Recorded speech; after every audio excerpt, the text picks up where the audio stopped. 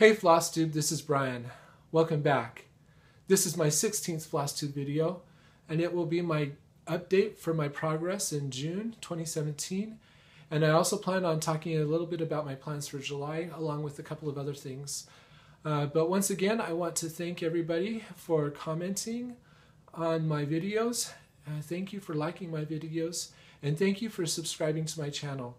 I really enjoy hearing from you and hearing your opinions. Also, if you are new to this to my channel, welcome. I hope that you enjoy this video and that you would consider subscribing. So uh, let's get let's get started. Um, the first thing I want to do is respond to some comments that I've had since I posted my last video. Uh, one of the things that I talked about in my last video was about Alex at Alex Stitch and about uh, a piece that he had featured that's uh, Jacobean crewel work, and I and I had uh, Ludmilla 1712 let me know that the piece that he featured is from a book called Crewel Intentions, and that he is actually working. He was actually working on the Ru Russian translation of the book. Um, he, it is actually a book that is available in English on Amazon. Uh, it's written by a lady named Hazel Blomkamp, and she's written two books. Uh, one is Crewel Intentions, and the other is Crewel Twists, that are, have her designs in it. They both look like they're really cool. And I also found out that she has a website uh, where she sells kits for her designs, and also for some uh, for her designs that are in the books as well as some other uh, other designs that she has. Uh, she uh, apparently she lives in South Africa, and her kits are very well very reasonably priced. So if you're interested, uh, you can check her out. Kelly Sluter asked me about how I'm doing with my crochet nativity set that I'm crocheting for my wife. Um, I haven't been really, really good at stitching. I am working on it. Um, I have decided that I'm going to crochet everything and then assemble everything at the end. So I really don't have a lot to show. I've just got a bunch of crochet little pieces. Um, I've stitched Joseph. I've stitched um, the baby Jesus. I'm the next one I'm going to stitch is a wise man. I have a goal to finish that by by Christmas time, so I guess I, I've got six months, but I guess I better get a little bit uh, working on it a little bit more. I try to do it on Saturdays, and sometimes sometimes my Saturdays are just really crazy. So, um, Diana Ainsworth asked me, uh, "What is the tune that I used in my slideshow?" Uh, that tune is called New Land. It's available for, as a free download on the U YouTube Creators channel. Um, it is royalty free, which is one of the reasons why I use it. I don't know if it's available for download anywhere else, but you can you can look and see. Uh, Stephanie Natalia asked me what I would do if I was working on a piece that was landscape oriented, but that was wider than my scroll bars. And that actually happened to me once. Uh, before I got my Omanique frames, I was using my lock scroll frame, and Verandas of South Battery was too wide for that frame. So what I did is I rotated Verandas uh, 90 degrees and stitched it from the side. I also rotated my chart 90 degrees to make it easier to, to see how things laid. And um, the, the probably the hardest thing about that was um, realizing that the symbols were also rotated 90 degrees. So I had to I had to look at my key rotated 90 degrees too, and and not let my brain think about it too much. Um, also, I had already started stitching that piece, so because I was rotated 90 degrees, I had to cross my stitches the other way so that they would match. And that kind of played with my brain a little bit, but not too bad. Um, if I were stitching a brand new piece that was too wide for my scroll bars, um, I would do the same thing. I would rotate everything 90 degrees, only I, would, I, I wouldn't have to worry about uh, crossing differently uh, because I'd be working on a, on a brand new piece. Uh, Stephanie also asked me to talk a little bit about my Omanique uh, scroll frames uh, and kind of give you a little bit of a review. Um, I will just say that I love my scroll frames. Uh, they give me the best tension that I've ever been able to get. Uh, they're nice and sturdy, and I just I just really love them. Um, this point was driven home to me uh, at the beginning of the week. I actually got out my lock scroll frame uh, to do something, and I just couldn't get the tension that I get on my lock scroll frame. So I just I I couldn't work on it. So um, I I love my my Omanique frames. Uh, they're wide and they're sturdy, and they're worth every penny that I paid for them. So if you're considering getting getting those frames, uh, I would highly recommend it.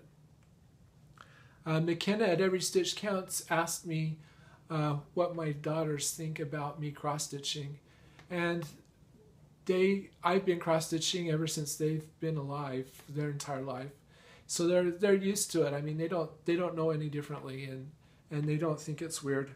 Um, do they have an interest in learning cross stitch? Uh, they have. They've shown some interest. I have my oldest daughter stitched a couple of pieces. Uh, once she went through all of my old magazines and she found a ballerina that she wanted to stitch.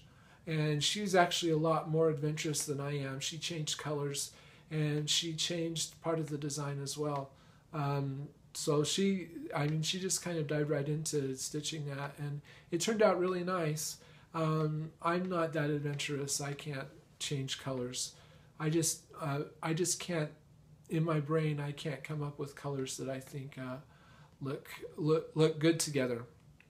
Uh, my other daughter also at one time expressed an interest in cross stitching, and I get for Christmas one year I gave her a kit that was a bunch of bookmarks that she could stitch one for each month, and she worked on them a little bit, but uh, she never finished them. She, so she kind of had some interest, but uh, uh, kind of lost her kind of lost interest after a while.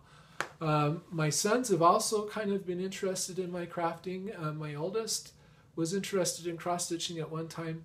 He stitched a small bookmark and was really interested in stitching a great big uh, Zelda piece, but he he stitched for about a month and kind of kind of lost interest in it.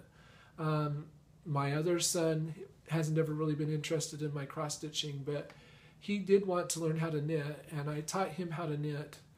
Um, and he knit for about a month and lost interest. So I guess crafting hasn't really taken with them. They've kind of all shown an interest, but haven't done anything more than that. Uh, McKenna also asked me what I'm going to enter into the fair. I haven't decided yet, and I haven't even really decided if I'm going to enter anything in yet.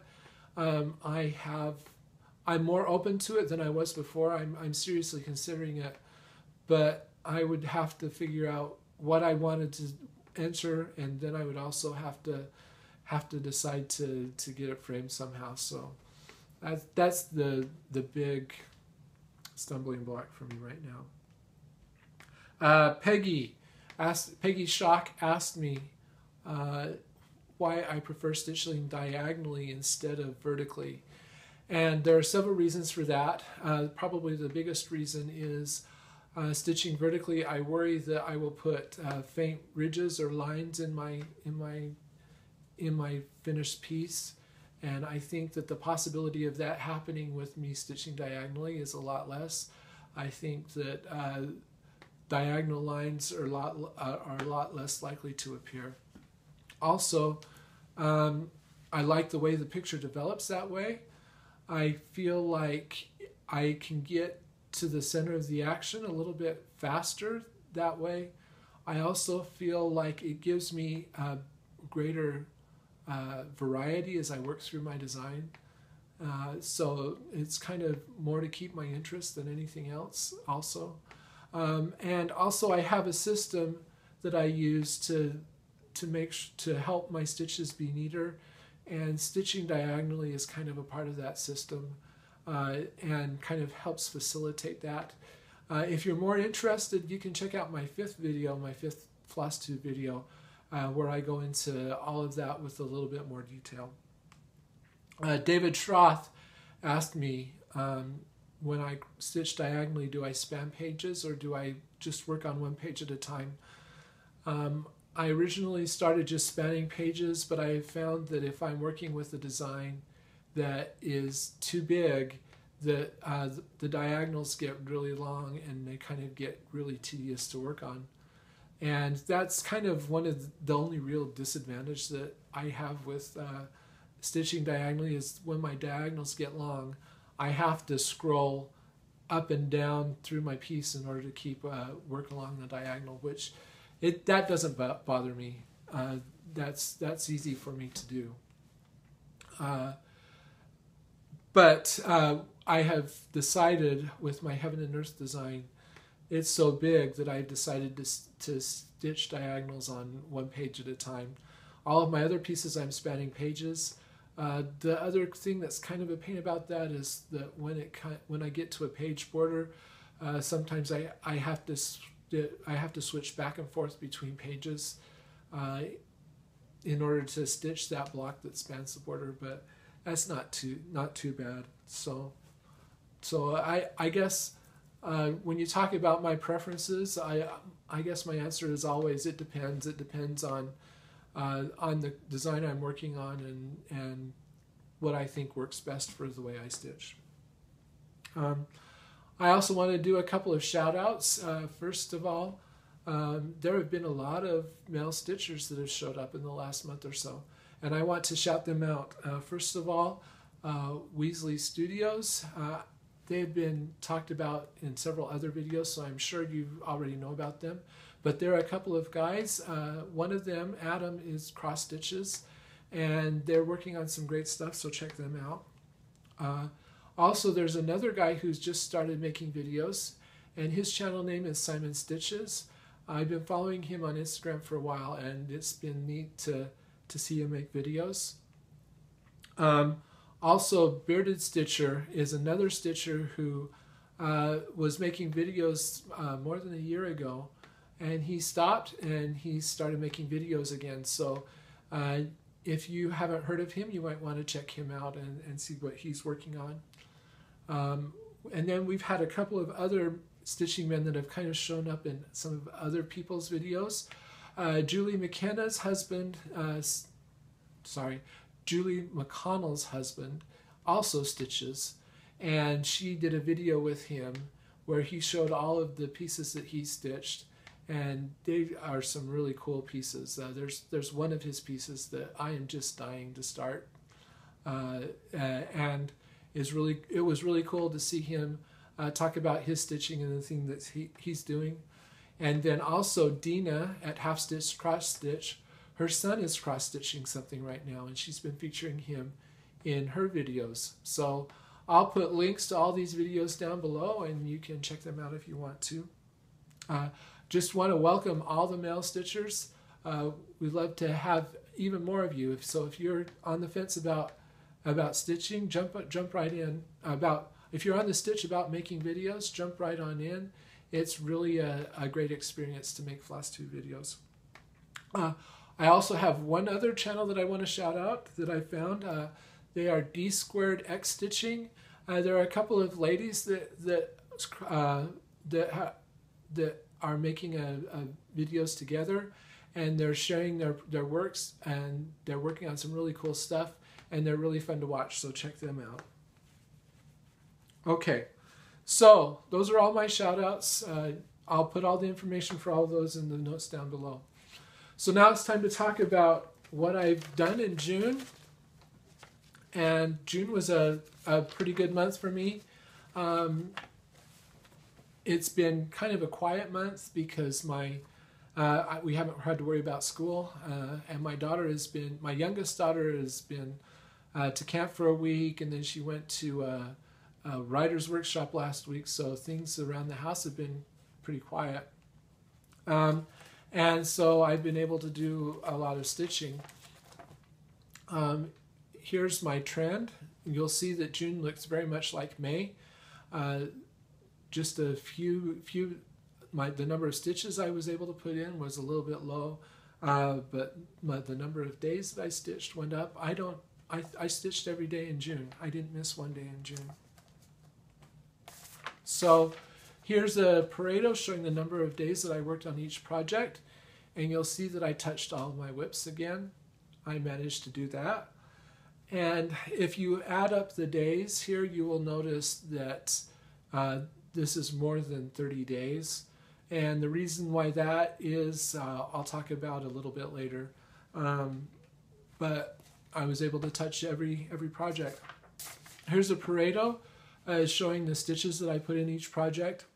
And you'll see that I, uh, once again, Corazon Sampler is the winner. Autumn Magic is very low, and we'll talk about why that is in a little bit. Um, if you have are new to my channel, I think I'll just point out that uh, the number of stitches that I put in, you kind of have to take with a grain of salt. Uh, they're more a measure of the amount of area that I've covered in the chart rather than the number of stitches that I've stitched. Uh, and that is because if I'm working on a piece that's not full coverage, I don't want to take the time, uh, if I'm stitching a 100 stitch block, I don't want to take the time to count how many stitches are actually stitched and how many are empty inside that block. So I just count 100 stitch blocks really. So this is more a, a an, a measurement of the amount of area that I have stitched in the chart. And since we are halfway through the year, we're in July and six months have passed, I thought I'd do a yearly update. So uh, year to date, this is a Pareto that's showing every project that I've worked on and the number of days that I've worked on each project. And I kind of find it interesting that Autumn Magic, I've stitched on that more than anything else because um, I, I didn't realize that I had done that. Uh, Verandas of South Battery is pretty high, and I think that's because I went on a finishing frenzy and I wanted to get it finished.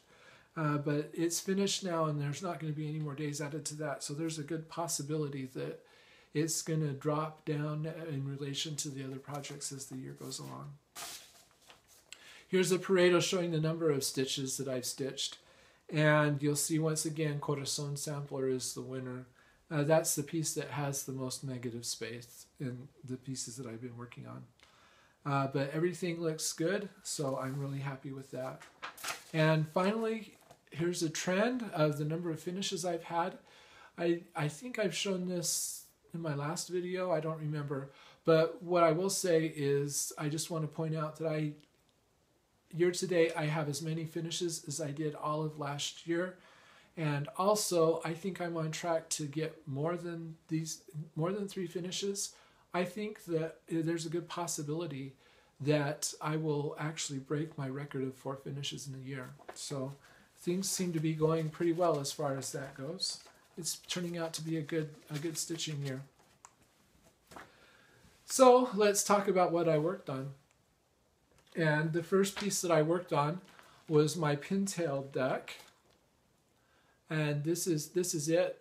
Um, if you remember, this is a series of four duck decoys. They're still lifes that were painted by Judy Gibson, and the adaptation was done by Donna Vermillion Giampa. Um, this is from the For the Love of Cross Stitch magazine, November 1994 issue. I, I've already stitched mallard and I am working on pintail, which is this one up here. And I'll put in a picture of what it looked like the last time you saw it.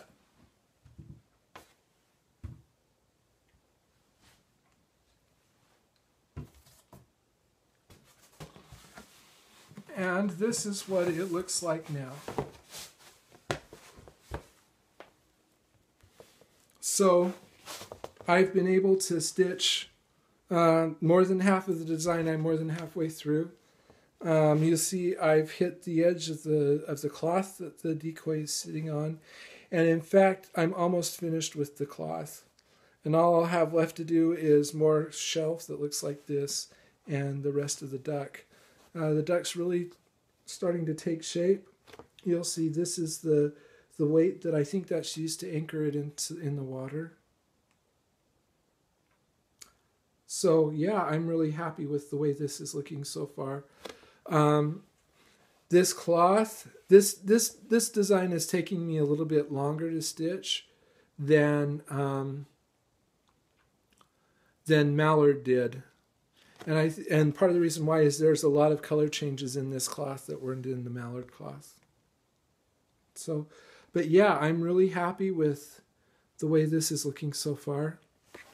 Uh, this is fun to work on. Uh, I still like my bigger projects better. I I like finishing it, but it, I just don't have the same feeling as of accomplishment as I get with my big pieces. Uh, and on my blog, which I don't keep a lot of, I, am not really good at updating. Um, I had somebody ask me about how the way I stitch, what it, the back looks like. So I'm going to be brave and I'm going to show you the back of, of, of all of my projects so that you can see. And so this is the back of of Mallard. Um, you'll see uh, there's there's kind of a lot of places. Uh, it's kind of messy, but not too bad. Uh, what I found is that the more confetti, the more color changes that there are in a piece, the messier my back becomes. But if there aren't a lot of color changes, then my back looks pretty decent. Uh, she also asked how far I, I, I will carry, and I won't carry across uh, a, I won't carry across a part of the design that's not stitched, but I, I I'm pretty liberal in carrying if if I know that that that part of the design is going to be stitched, and I'll I'll carry up to ten stitches. Um, on my heaven and earth, I'll carry even further, just because um, the number the stitches are smaller. So on the heaven and earth design that I'm stitching one over one, uh, carrying 20 stitches is equivalent to carrying 10 on something like this. So I'll even carry that that far on my heaven and earth design. So there's that.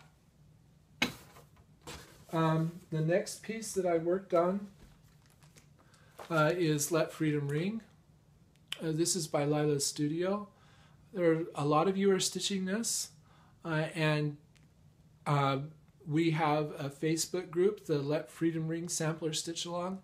If you want to stitch this, or if you are stitching this and aren't uh, part of the group yet, uh, feel free to join. We would love to have you. We're all stitching this together.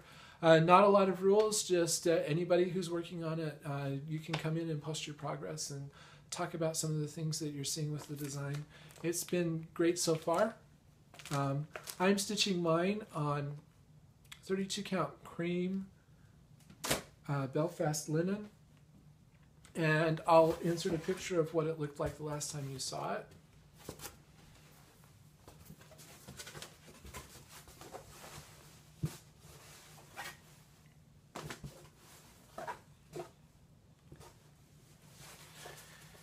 And this is what it looks like now. So I was able to stitch this entire bottom border. I finally finished this. Last time I complained about the oak leaves. My oak leaves are finished. I also finished the horse and the carriage and I've started working on Independence Hall. As I as I've seen everybody else, it seems to me like they're they're a lot further along because they've been stitching the building.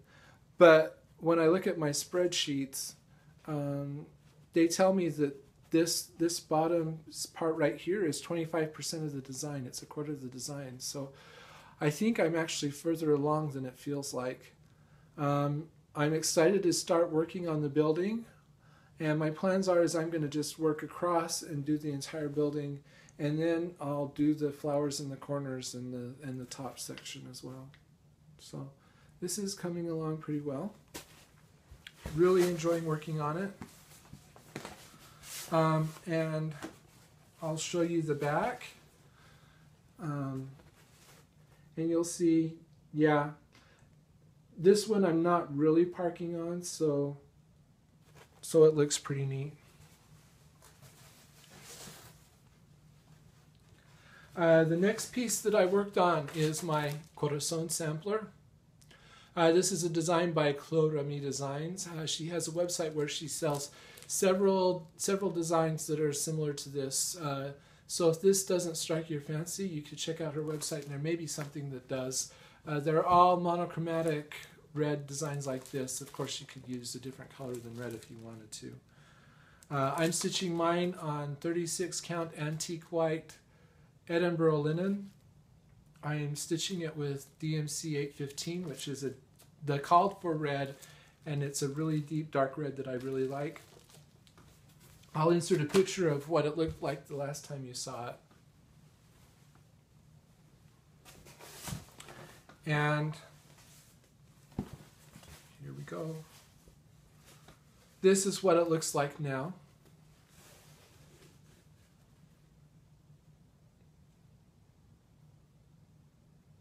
So I've gotten quite a bit done. When I was stitching on this this month, I was actually tempted to just keep on working on it and actually finish it, but I didn't. Uh, I got to a point where I decided it was time to put it up. But what I did do is I stitched these uh, these roses here, and if you're working on this design, I just want to point out in the as charted these roses aren't symmetrical. Uh, there's a little bit of a difference on each one. And I wanted mine to be all the same, so I ended up stitching this top one, and then I rotated, rotated my chart three times and stitched the, all, all three times. I don't know if the fact that they're not symmetrical is a mistake or if that was intentional, but I like I like them being symmetrical. So that's what I did. And I know that there's another design of hers that has this same circle of roses that is not symmetrical. So I, I stitched the, the circle of roses. My initials and date will, will go in here. Um, I'm pretty sure I'm going to be able to put 2017 in here, but I don't want to do it yet because I don't want to jinx, my, jinx myself. And I stitched this alphabet. Um, I finished this alphabet, stitched this alphabet, part of this alphabet, and I brought the borders down. So they are down to the point where it's time to start a corner like this up here. And if you look at it, I have about this much. I have that much to stitch down here. Now this up here took me two, two weeks, two times through my rotation to stitch. So I'm anticipating that I'm going to have about the same amount of time through here. Uh, I, these, these letters take a while to stitch and there's eight left that I need to stitch. But yeah, no, I'm really enjoying this. I always love uh, when I finish working on it, taking it out of the scroll bars and seeing how much it's, seeing how it looks all put together. So that looks good. I'll, I'll turn it over so you can see the back. And of course, this is a single color, so it's not going to be very, very interesting. But you'll see I don't carry from one letter to the other. Each letter is stitched individually. So, um, so yeah, I won't carry across the, the negative space. But yeah, that's looking good. Uh, the next piece that I worked on is English Garden Sampler by Teresa Wentzler. I'm stitching this on 25 count Lugana. Um, and I am using Sullivan's floss instead of DMC.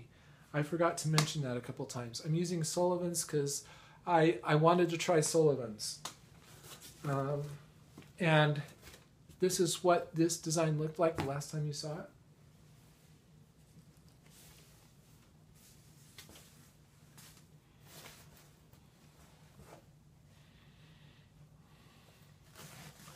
So, and this is what it looks like now.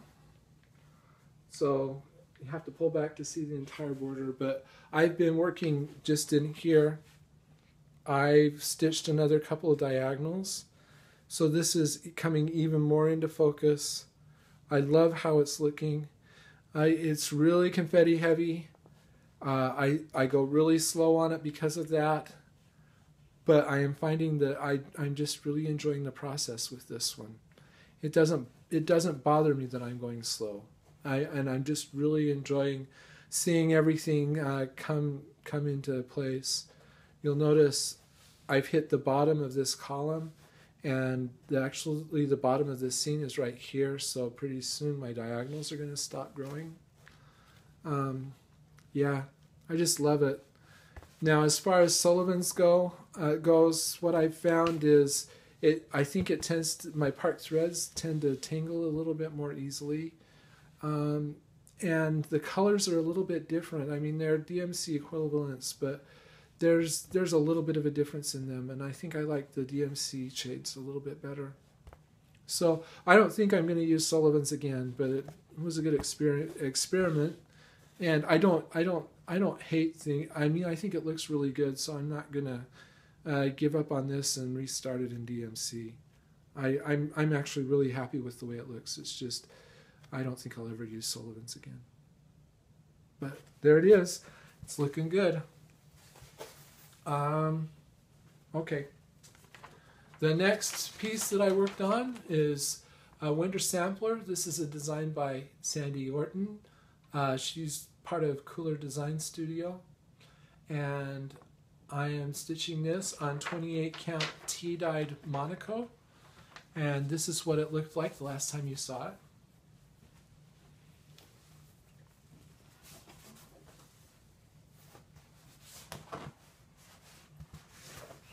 And this is what it looks like now. I am I'm really happy with this piece and it's getting re it's really fun to work on. In fact, I almost continued working on it, but I I wanted to get to my next piece just just because I wanted to finish work on my next piece before the month ended as well. So I've basically stitched this diagonal and started this next one.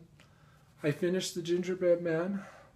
Santa is finished too. All that's left is there's a little bit of the frame and then there's some blue background that goes in here. So Santa is, is, is for all practical intents and purposes is finished. This clock is really starting to show up. Uh, I'm starting to see another mouse. There's, there's a mouse up here. Uh, this banner is, I've hit the top of the banner and actually the corner, the top corner of the piece is right here. And I'm really excited about that. I feel like I'm getting over the hump because once I hit this corner, then my diagonals are going to start shrinking, and I look forward to that. So I'm feeling I'm I'm like 50%. I'm halfway through now, and I'm feeling like I'm getting over the hump, and that things are going to start going a little bit better. Uh, this white right through here this is kind of a slog to go through because it's so much white. And I like that going the diagonals through here, I only have to stitch like a strip of white. Uh, if I wasn't doing it diagonally, then I'd end up doing this great big huge, a great big huge mass of white, and I don't know that I would enjoy doing that.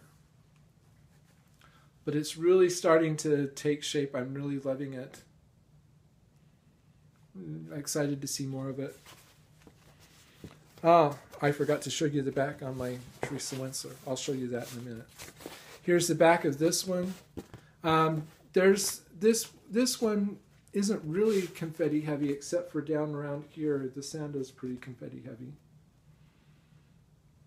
But yeah, I don't think it looks too bad. While I'm showing you backs. Here's the back of my Teresa Wentzler, which is confetti heavy. And this is what that looks like. So, yeah, this is probably one of, one of my messier backs. But it doesn't look too bad to me. Okay, so uh, and then I also worked on And a Forest Grew by Rosewood Manor. I'm stitching this on uh, 32 count antique white Lugana. And this is what it looked like the last time you saw it.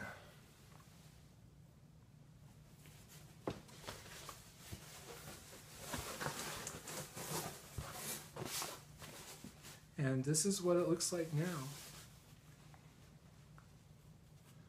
This continues to be a fun piece. And I stitched basically this page here. Uh, the page boundary is here, so this tree goes over into the next page. I finished this great big tree trunk, more of this tree and these words.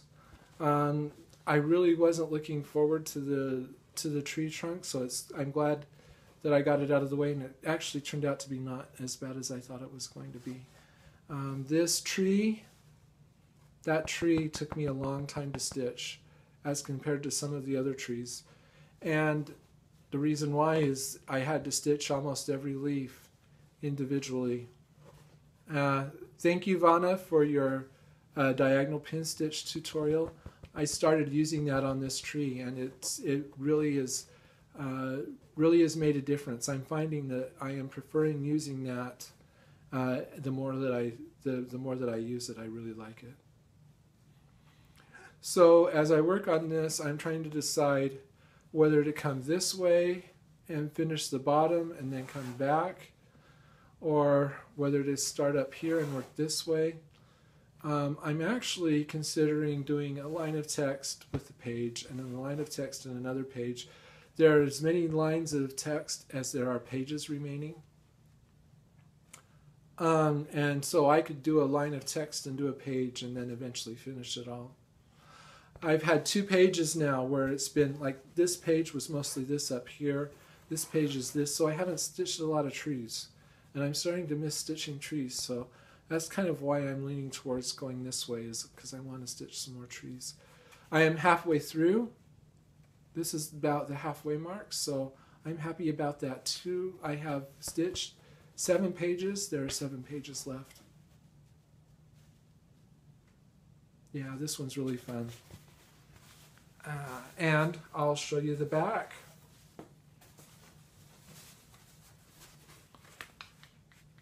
So this is another one.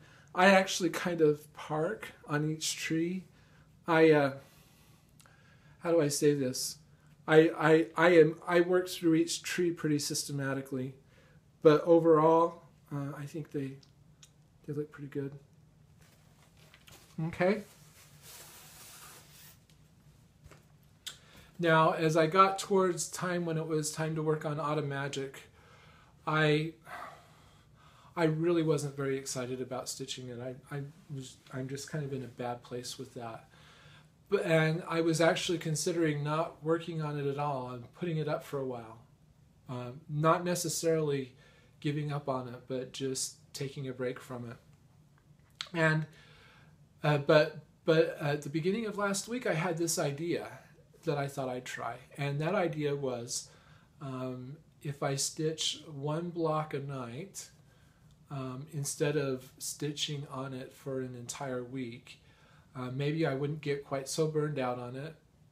Uh, maybe maybe I would get a lot more progress because one block a night would give me 30 blocks a month.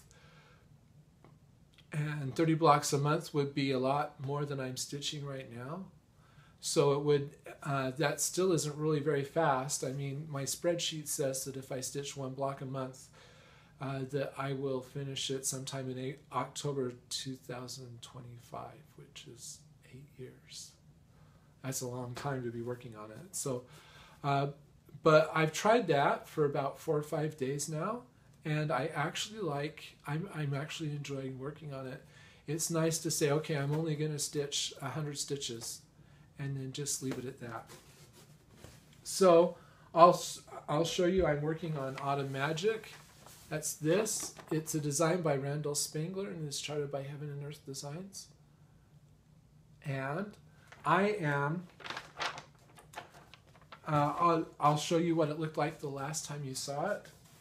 Uh, you're not going to see a whole lot of, of progress because I, I haven't been working on it that long but I'm happy with what I've done, and I, I, I think I, I like how, how I'm doing this. So this is this is what it looks like now. So I finished this diagonal and I've started working on this diagonal. Here's the top of the page, which is kind of nice. I found the top of the page and now my diagonals are going to start shrinking. Um, and I really like how, how things are taking shape. So I think I'm going to continue doing that. I mean, I, I, I, my goal is to kind of do uh, one block a night on this, and that may not. I may not do it all the time. I mean, if I have a night when I I don't have a lot of time to stitch, I may not do that. or I may get to the, the point where I want to work on Autumn Magic a little more, and maybe I'll I'll I'll work on it exclusively for one night. I I'm I'm kind of being a little bit flexible about that, but I'm looking forward to doing that. Uh, I'll I'll see what happens when I uh, I haven't been working out the blocks that I've stitched so far this way um, haven't been really confetti heavy. So we'll see what happens when I hit a block where it takes me two hours to stitch because I've had blocks that take two hours to stitch and that's when I really get discouraged. So we'll see what happens when something like that happens. But so far I'm liking that and so that's what I'm planning on doing. Uh, I'm planning on doing that uh, one block, uh, one block a day and we'll see how much more progress I get. Okay. So that's everything that I worked on my plans for July. Um, I am planning on just working the same way I'm doing. Uh, maybe we'll uh, we'll plan on having. Uh, we'll see how far I get if I can touch all my WIPs. I kind of think that I'm not going to be able to, and part of the reason for that is that uh, at the end of the month we are going to be celebrating my parents' 50th wedding anniversary. Uh, we're going to be out of town. And I'm going to be in a place where there's tons of people, tons of kids. And so I don't think I'm going to have a lot of time to stitch. Um, and so I think I'm going to go several days without stitching. I'm steeling myself for that. I hope I don't get too twitchy. I'll be, but we'll uh, we'll face that when it comes. Um, also, I've had over over the past few months, I've had people request that I uh, make videos uh, showing at, of me stitching, and I think I've I, I haven't done that because I, I really have a hard time figuring out how to uh, position the camera so that it looks good. And the angle is really hard to get. I, I almost have to have would almost have to put my camera on my forehead for it to look really good, and even then, then I'd be moving back and forth, and that would make you really dizzy. So I, I've had a hard time doing that. I think I've come up with a good compromise. I made a couple of video, I've made a couple of recordings. I haven't looked at them to see whether or not I like them yet, so we'll see how that goes. But look for some videos of me stitching in the coming uh, coming months. I'm not going to release them all at once because I don't want to flood everybody with a bunch of videos. But maybe over the next month you'll see a couple of me videos of me stitching. I have one final thing that I that I want to show you, and it's over here. So I've got to I've got to leave the camera for a sec.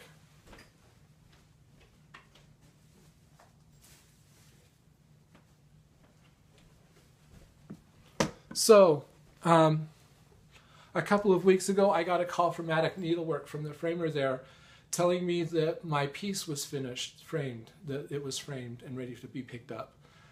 And she called me on a Thursday, and Attic is usually closed by the time I get out of work. But on Thursdays, they are open late because they have a stitching group. They have a bunch of women that come in and, and stitch on Thursday evenings. And so I thought, oh, they're going to be open. So I, I went and picked it up as soon as I got off work. And when I walked in the door, one of the ladies saw me and said, "Is it finished?" And I said, "Yeah, I got a call saying it was." And she said, "Well, let's let's get it." So she went and got the framer, and the framer brought it out, and and she had it all wrapped up in bubble wrap, and she unwrapped it to show me. And when she when she when she uh, showed it to me, I was just like, "Oh, it looks so beautiful! It looks so wonderful." And the other lady that was there said, Well, we've got to show it to all the women. So they took it and showed it to everybody there, and I had to answer a bunch of questions about it. And that was that was kind of fun. Uh, the ladies were like asking me if I'd stitched it, and I said, Yeah, I did. And uh, one of them said, Does your wife tell you what you have to stitch? And I said, No. She said that there was a guy in there that, that was uh, shopping for patterns, and and uh, and she said she was talking to him, and he said and said that he said that her his wife told her what he had to told him what he had to stitch, which I thought was kind of funny. Uh, they said, "Why don't you come stitch with us?" And I don't know that I ever will. Uh, I I don't really. I'm more of a I'm I'm so introverted. I don't really, and I'm not much of a conversationalist, so I don't think that I would be uh, very comfortable there. And plus, my setup is I take up my our entire kitchen table when we stitch, and there's just not room enough for me over there to to be able to set up all my stuff and all that kind of stuff. But anyway, I'll show you what this looks like. I have I have part of it covered, and that's for privacy reasons. Uh, there are p- people on on this who haven't given my their permission to me to show their names. So, um, so I'm sorry about that, but that's the way it has to be. But this is what it looks like. So I am just so happy with it. It looks so wonderful. It's really sparkly. Uh, the butterflies are all stitched with blending filament, and then the the gold metallics cord on the frame all the way around it that really sparkles, and then there's blending filament in the flowers uh, that are in the in the hill underneath the tree, so it's really sparkly, and you're not going to be able to see that, but it just it's just really sparkly and really pretty. I chose a gold frame, and there's like filigree in the in the frame I really like that. I thought gold would be appropriate because it's a 50th wedding anniversary gift. And I, I really like the mats that I chose too. Um, yeah. No, I am so excited to I'm so excited to show this to my uh, to give this to my parents.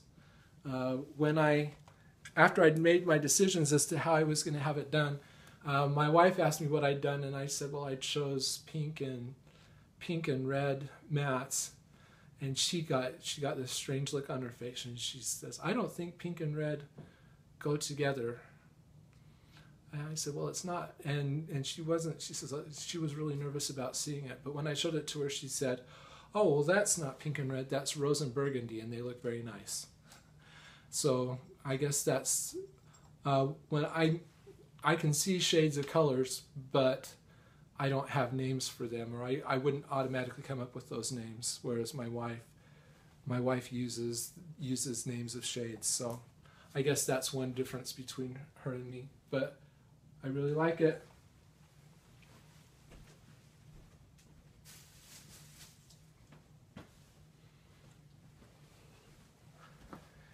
And finally, to close, I want to do the 20 things about me tag.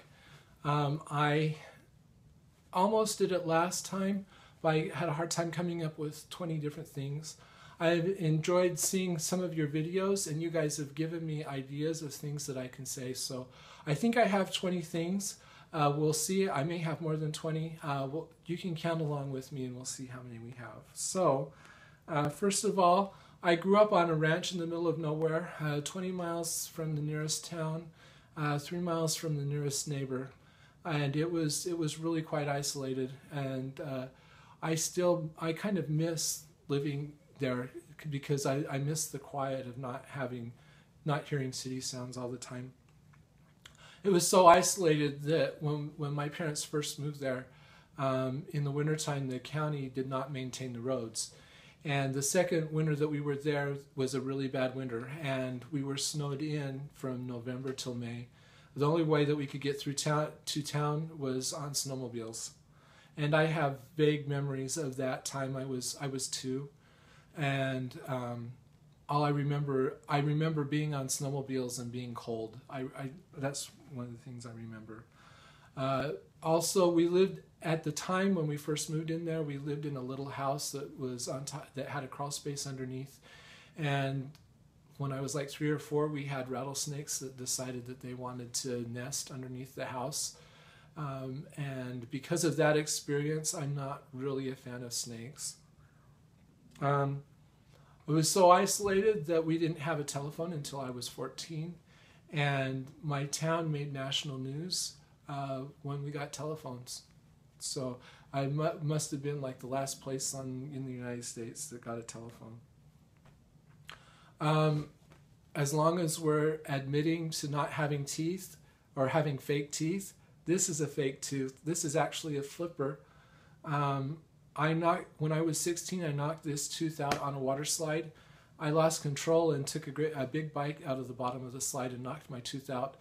Uh, they stopped the slide and went looking for it and put it back in my mouth. And about six months later, I had a root canal and I've had a crown on that tooth forever. But my current dentist uh, has said that my uh, the, the roots were starting to resorb and that it was time to, to pull that tooth. And I'm in the process of, I have an implant. I'm waiting for the bone to grow around the implant. Uh, in about a month, I'm going to be, we're going to start the process of getting a crown. I will be so happy about that. This, this flipper is the biggest pain. I have this big uh, mass of plastic in my mouth, and it, it makes it hard for me to even speak or eat. It's, it's not fun to deal with. So I'll be glad to get a crown again. I still have one wisdom tooth. Uh, when it came time to remove my wisdom teeth, the dentist had a hard time with with the, this wisdom tooth, this upper wisdom tooth. Um, my bottom wisdom teeth were taken out when I was 14, uh, but when it came time to remove the top one, he had a really hard time with this one, and and he looked at this one and said it was even higher that would never come in, and that if he tried to, that he risked putting a hole in one of my sinuses, which we didn't want to do, so we left it in. So I still have a little bit of wisdom left. Um, I am the oldest of eight. I have six brothers and one sister. So there's there's there's eight of us. Uh, one of us is a girl. The rest of us are boys. So I have lots of brothers. Uh, I also have over 30 nieces and nephews. I have lots of nieces and nephews. And I have a couple of brothers that are still having kids, so I could even have more than I have right now. Uh, if you know about the Myers Briggs personality test, I am an ISTP. Uh, when I was in high school, I took uh, two years of German and spent a summer in Germany as part of an exchange with a school in Stuttgart. Um, we spent most of the time in Stuttgart, but we also uh, went to Berlin, uh, Frankfurt, Munich, uh, Innsbruck, um, uh, St. Gallen, Switzerland, all through the Alps. Uh, it was it was a great experience. Uh, that was back when there was East and West Germany, and going to Berlin, we we did it on a train traveling through East Germany, and that was that was an interesting experience. Um, I mentioned I spent two years in Argentina. I was in Argentina on an LDS mission. I spent most of my time in Buenos Aires. I also was in a small town called Tunuyán, which is on the southern side of the, uh, on the western side of the country in, the, in Mendoza province. Um, and I love Argentina. Uh, because I lived there, I, I speak Spanish, but my Spanish is Argentine Spanish. The, they will call uh, the Argentines call it uh, Castellano. So I speak Castellano. Uh, the pronunciation is a little bit different, um, uh, and even the way they conjugate some of their verbs is a little bit different. So some of their conjugations are a little bit different. And my my kids who have taken high school Spanish, they they kind of give me a hard time because of the way I talk sometimes. But I think I talk correct, and that they're just uh, they're just mistaken. um, I, I I really loved Argentina, and I would love to be able to go back there someday. Um, I made some really good friends, and um, I would love to see how it's changed. Um, I think that right next to my big American flag that I have in my heart, I have a small Argentine flag. Um, I also spent a month in Israel. Uh, it was part of a business trip. Uh, we'd work during the week, and then on the weekends we'd go go touring. Uh, we went all over Israel from uh, the south, uh, the Red Sea, we, a town called Eilat, uh, clear up to the Golan Heights. Of course, we went to Jerusalem and Tel Aviv and um, everything in between, the Jordan River Valley. Um, and that was really a good experience. It was uh, interesting being in a place where there's so much history and where uh, there were seeing places that are mentioned in the Bible. It was it was really really a fascinating thing to do. Um, I am one of the few people, I think, that loves the novel The Lord of the Rings and can't stand to watch the movie. Um, I play organ, you know that. I also play piano, which is probably pretty obvious. Um, I also was in band. I'm what would be considered a band geek. and I play. Uh, I I play flute. I played flute all the way up until high school and, and all the way through high school. But in high school, I also started playing bassoon. So I played flute and bassoon. I haven't played bassoon for 30 years because I used a school instrument and I don't have my own bassoon, which I kind of regret. But uh, I really enjoyed playing bassoon. Uh, if you're a geek, uh, when it comes or into the, I guess, the text editing world, um, in the great uh, debate between which text editor is better, VI or Emacs, I fall on the VI side. Um, and I don't know how this happened, but everybody at Works thinks I'm the VI guru. So um, I'm also left-handed. I'm left-handed for uh, writing and for eating and for stitching. Um, and I'm right-handed for sports and for cutting because my mom taught me to cut right-handed because she didn't have left-handed scissors. Uh, when I shave, I I, I gave up uh, on going with all the these razors that have four and five blades. I shave with an old-fashioned safety razor and shaving cream and a brush.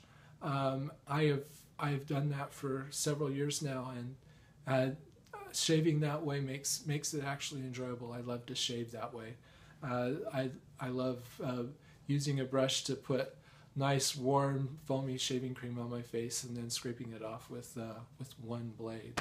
It's also a lot cheaper. I mean, I the last time I bought razor blades was like three or four years ago, and I don't have to spend ten dollars for five blades or however much you have to do now. So those are the 20 things about me. Uh, once once again, I want to thank everybody for spending time for me with me. Uh, this video has been a bit, little bit longer than usual, uh, so thank you for your patience and thank you for spending time with me. I hope that you have a great July and that you enjoy your summers. Uh, as always, if you want to follow me on Instagram, uh, you will see my daily progress pictures of, of what I'm doing. And I'll, also, uh, I want to mention one other thing. I've had several people send me private messages on Instagram, and if I'm not following you, I don't get a notification. So if you have sent me a private message and then waited like a long time before I respond, that's not intentional. It's just because I, I don't see those when they come through. Um, I do eventually, but I just don't think about checking to see if somebody sent me a pri uh, private message. So if you want to send me private messages, it might be, I think, if you send them by uh, through YouTube instead of Instagram, I'm probably more likely to see it. Unless I follow, if I follow you on Instagram, I'll see it. Uh, but if I don't follow you, um, then I won't see it. And um, I I tried to, it, it's not working now, but at the, I was trying to foil Instagram's advertisements by only only following, liking cross stitch pictures. So if your if your if your account is mostly cross stitch, I am probably likely to follow you. If you post a bunch of private uh, of pictures of other things, I'm I'm not likely to follow you. Uh, I'm on it. The whole point of my Instagram account is is cross stitch, and I'm trying to keep the the advertisements from finding me. Uh, that hasn't worked in the last month or so. I've started to see a lot more advertisements on Instagram. But um, anyway, so uh, if, if I follow you on Instagram, I will see your private message. If not, it may take me a while to respond to you. And it's not that I'm ignoring you. I just, I just haven't seen your message. So I try to respond when I can. Uh, if I don't follow you on Instagram and you know that, uh, it might be easier for you to PM me on YouTube, whatever. But anyway, I uh, hope you have a great summer. Uh, thank you for, for spending time with me, and uh, we'll talk to you later. Goodbye.